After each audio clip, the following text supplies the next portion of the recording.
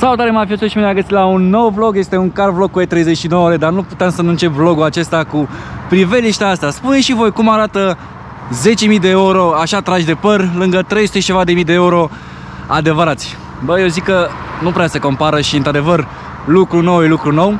Am filmat acel Lamborghini pe care probabil l-am postat pe, pe YouTube și astăzi mergem să facem un, uh, un POV, un POV cu aceste 39 pe care l-am modificat destul de grav, vedeți voi ce interior avem noi aici.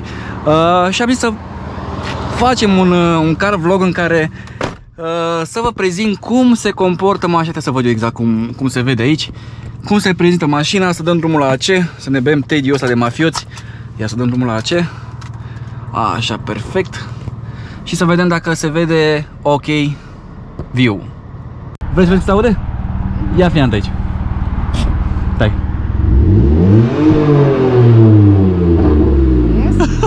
Da, sigur. Mai tare ca la parking. Doar se aude, dar nu trage. Gata, ne-am terminat treaba cu, cu acest Lamborghini. Ne-am făcut și noi damblaua. Am văzut și noi cum e să ai Lamborghini pentru câteva uh, minute, cum e să stai în el. Și acum ne-am mâncat din nou un căruțescu, un mașinescu, cum ar vrea să spuneți, pentru că bă, e diferență imensă între Lamborghini. Bine, de fapt, într-o mașină de banii aceia și o mașină veche de acum 20 de ani. Cât ar spune voi că, mamă, frate, ce mișto e să ai o mașină veche, că nu se compară astea vechi cu astea noi, n-are, frate, nicio treabă.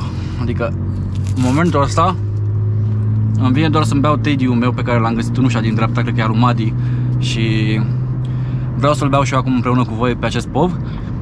Mm. Wow, chiar e bun. Așa.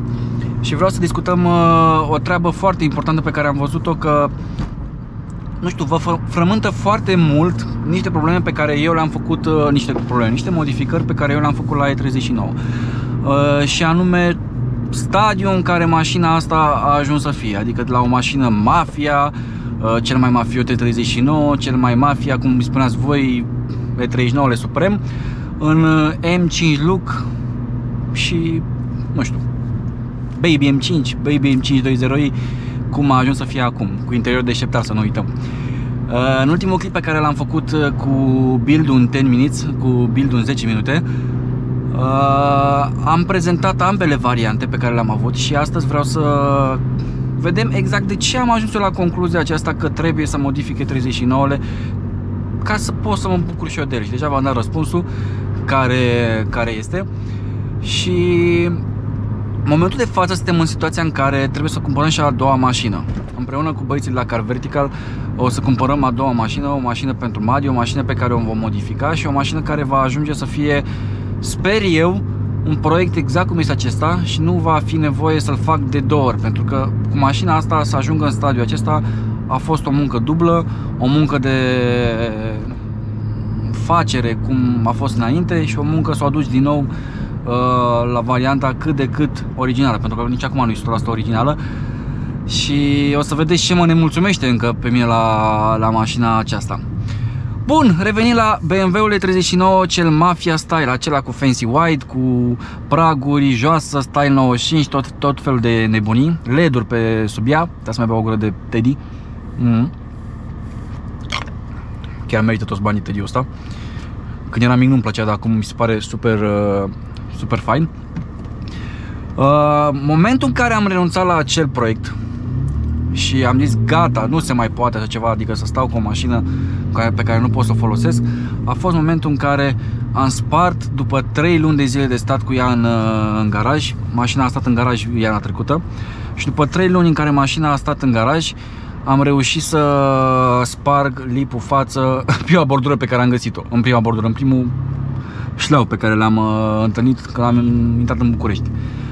Atunci am spus gata, nu se mai poate să mai țin mașina asta în felul ăsta pentru că deja am ajuns la capătul puterilor, capătul răbdărilor, nu mai voiam să mai aud de mașină joasă și am început să dau jos de pe ea. Primul lucru pe care l-am făcut a fost să dau fancy wide-ul, acel uh, diffuser adus din Rusia și așteptat după el 6 luni de zile, de 6 luni de zile am așteptat după acel fancy wide Uh, l-am dat jos de pe mașină, l-am vândut în secunda 2 pentru că se căuta destul de, de mult acel uh, Fancy White. A fost destul de urât, nu v-a plăcut uh, vouă foarte mult acel diffuser, dar Mie a plăcut foarte mult, a schimbat total mașina și majoritatea care veneați și vedeați mașina în real life spuneați, mamă frate ce mișto arată difuzorul ăla, nu-l da niciodată că e, că e perfect. Bă, pe aici am voie. Da, am voie pe aici. Așa, trebuie să întorc. Uh, în momentul acela când am dat difuzorul jos, am dat LED-urile de pe sub ea Underglow și cu pragurile rămăsesem cu o suspensie cu o mașină joasă, cu lip, cu niște jante mari pe 19 ilegale și bă, nu mai avea așa farmec, adică mi se părea că odată ce am dat fancy-ul jos, mașina nu, nu mă arăta wow. Și am zis, bă, dar de ce să mai țin eu așa? Mamă, ce Golf 1 ăsta? Sau ce ăsta? Volkswagen? Golf? Ha? Golf, da. Golf 1 cred că era. Da, Golf 1. Uh, în momentul acela am spus, bă, nu mai rost să mai țin mașina în felul ăsta modificată, cu jante ilegale, suspensie ilegală. Hai să, totuși dacă tot am dat lucrurile jos, să pot să fac mașina M5 look, adică OM plus, cum aș, cum aș spune eu în anumite postări, uh, ca să vă atâți mai mult pe voi și să spuneți, mamă, M5 look, tot felul de chestii, că tot timpul vă luați de mine că spun că este un Baby M5. Pot să-i spun cum vreau, pot să-i spun Baby M7, pot să-i spun mai șmecher ca M5 și tot așa, pentru că până la urmă sunt niște chestii pe care le spun și nu înseamnă că dacă spun o chestie ești adevărat. Eu sunt conștient că e un 2.0 benzină 6 cilindri, dar pentru mine este mai mult decât suficient. Uh, uh, bun, reveni la modificări. Am dat fancy-ul pragurile Underglow, după aceea motoarea mișcare pentru a face mașina M5 Look era să modific jantele. Am vândut repede jantele, am stat cu niște jante pe 15, am luat jantele astea care mă oftic maxim că nu le-am luat în culoare originală pentru că tot n-au ieșit exact ca la originale și în viitor apropiat trebuie să mă duc să le mai fac încă o dată în altă parte să văd dacă poate băieții de acolo reușesc să facă ce n-au reușit băieții unde au dus jantele. Deci la jantele au fost destul de scumpuțe pentru că orice lucru OM este mai scump decât unul custom. Am auzit la concluzia că e mult mai greu să ții o mașină OM și în perfectă stare de funcționare așa stock decât să o modifici e foarte ieftin să niște praguri, niște lipuri, niște difuzere, adică de modificat o modifici mai ușor decât să o ții OM. Am luat jantele, l-am vopsit, după aceea ce mai trebuia să mai fac? Să ridic mașina. În prima instanță am zis că o să fac telescoapele mele originale, care erau moarte, deci telescoapele originale, 400.000 de km cât au avut ele când, când am schimbat eu cu reglabil, acum văd cam 429, 430.000 de km. Eu n-am făcut mai mult de 30.000, vreo 40.000 de km am făcut cu mașina asta. Deci maș- telescoapele originale aveau vreo 390.000 de km. Am zis că le fac pe acelea, după aceea am zis, bă, nu le mai fac, rămân cu reglabila pe care o am și acum pe mașină. Și hai să o ridic puțin, am ridicat-o. Bă, s-a așezat mașina. Pur și simplu cu jantele astea pe 18 și mașina joasă nu arăta cum trebuie. Am zis, bă, e ok, gata, începe să, să prindă formă.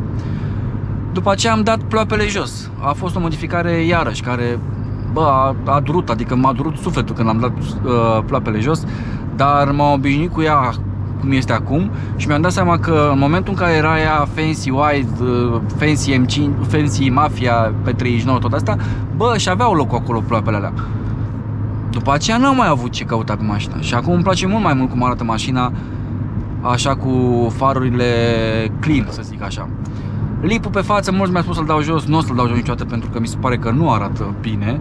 Nu știu, parcă pe M5 39 arată într-un fel, dar nu știu, e mai lată mașina, nu e mai lată mașina, nu știu de ce, mi se pare că pe M5, pe E39 arată mai bine. Pe asta mi se pare că nu, nu de la fel de bine. Uh, și am mers cu prima, prima dată în stadiul în care este mașina acum, am mers prima dată cu mașina la un mit, cu mașina aproape stock, OEM Plus. Singura modificare este evacuarea pe care o am pe spate, niște distanțiere față și și lipul pe, pe față. Ceea ce îmi dovedește mie că în momentul în care aveam mașina modificată și era de show, bă, mașina aia nu puteai să mergi cu ea la show pentru că nu puteai să mergi. Am făcut un drum de Transfăgărășan Trasalpina, mi-am blestemat zilele. Am rămas cu scutul la cutie pe... La Rânca, cred că am rămas, da, la Rânca.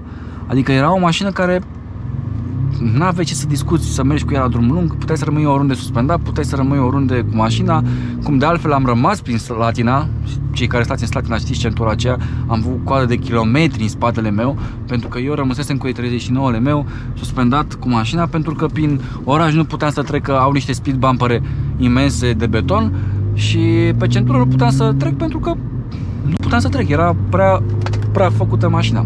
V-am răspuns și vouă de ce am ajuns la mașină OM Plus sau M5 Lux sau Baby M5 sau M520i cum este mașina acum. Acum o întrebare pe care o găsesc foarte des în comentarii este de ce nu îi pun acum V8? Pentru că este un Baby M5, M5 are 4.9 V8, de ce nu îi pun măcar un 3.5, un 4.4 V8? Băi, răspunsul e destul de simplu. Pentru că nu este un 4.4 V8. Și ca să modifici motorul, că îi pui tu un lip, că îi pui tu o jantă, că îi pui, adică uite, uitați-vă în caz de față, am făcut mașina cum era înainte cum, uh, și cum e acum, am făcut-o în maxim două luni de zile.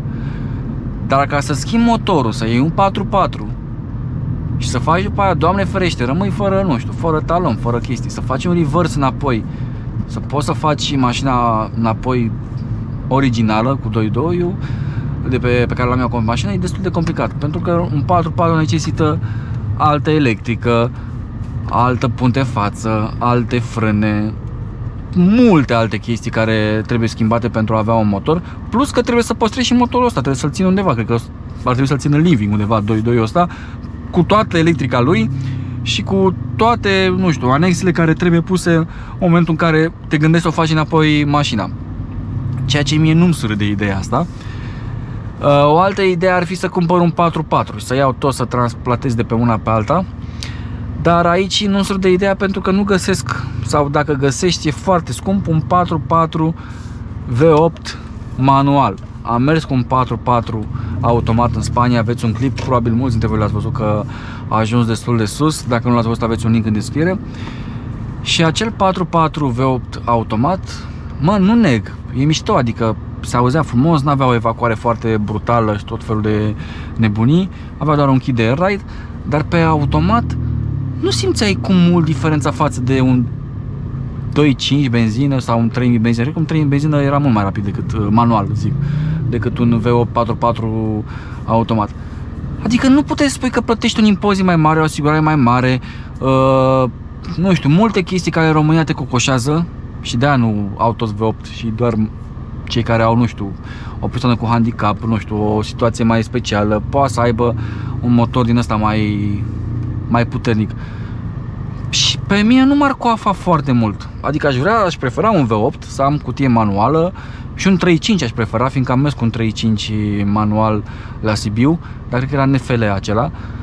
Și mi-a plăcut. Ăla pe manual chiar se simte destul de, de făinuț. Dar din nou, e foarte scump, multe modificări, multe modificări neomologate, multă bătaie de cap și iarăși transformă o mașină pe care, uite, acum am fost de zi cu zi, m-am dus să filmez un Lamborghini cu E39 De obicei când aveam mașina în felul cum era înainte, Mafia Style, mă duceam să filmez o mașină cu Mini Cooper. Acum nu mai am problema asta, mă duc cu ce mașină vreau eu și unde vreau eu cu mașina asta.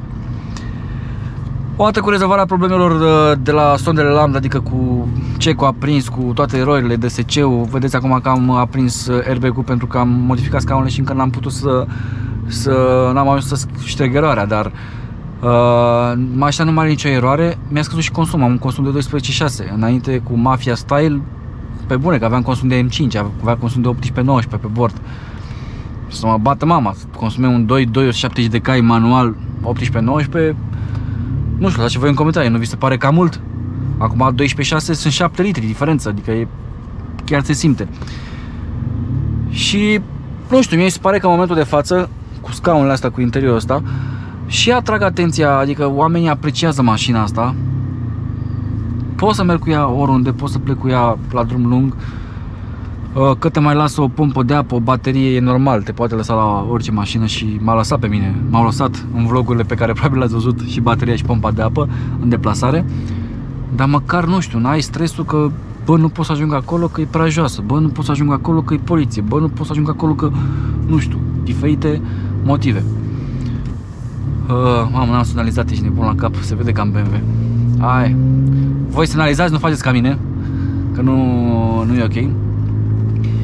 Ideea e că în situația actuală pe care o am cu mașina sunt mult mai fericit și până la urmă contează foarte mult să fii fericit cu mașina pe care o ai nu să fii tot timpul cramponat încă în chestii că nu știu e, e prea joasă, e prea nu știu, nu pica aia cum trebuie, nu, mă rog chestii pe care le întâlnești în momentul în care nu ai o mașină, în momentul în care ai o mașină modificată. Acum singurul dezavantaj pe care l-am cu mașina asta e suspensia. Am o suspensie veche de vreo 3-4 ani și care sincer a schimba-o mâine și cred că o schimb cât de curând cu o suspensie originală niște telescoape Sax cu niște arcuri Sport Aibach să fie exact fitmentul ăla de care am nevoie de M5 Look pentru că nu mai văd rostul suspensiei este ea, e destul de rigidă și e păcat de scaunele astea confortabile pe care le-am pus de interiorul ăsta să am o suspensie care te zgâlție la orice uh, speed bump.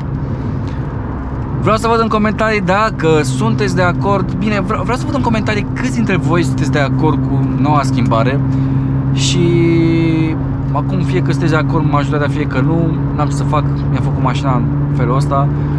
Uh, mai urmează modificări aduse mașinii, vreau să mai fac niște chestii de confort, nu știu, v-am spus suspensia, niște anvelope noi, adică niște chestii care să țină de siguranța mea în momentul în care merg cu mașina pe străzile din, uh, din România. Pe data viitoare am fost merită toți banii, hai să vreau să văd în comentarii câți dintre voi sunteți de acord cu părerea mea pe care, o, pe care o am despre noul proiect cu vechea mașină. Și dacă vreau să văd câți dintre voi ați făcut la fel în locul meu și poate vă ajută pe unii dintre voi în momentul în care, nu știu, vă gândiți mamă frate, vreau să modific o mașină. Și poate vă pune sisteme întrebare cu modul în care vă puteți modifica mașina pentru că poate să fie un tuning excesiv să vă transforme o mașină într-o mașină impracticabilă sau puteți să faceți ceva frumos cu bun gust care să nu atragă foarte mult atenția și să vă puteți bucura de mașină în fiecare zi. Până data viitoare am fost mai de toți banii. Hai cu like-ul, hai cu follow pe Instagram și până data viitoare toate cele bune. Pa, pa!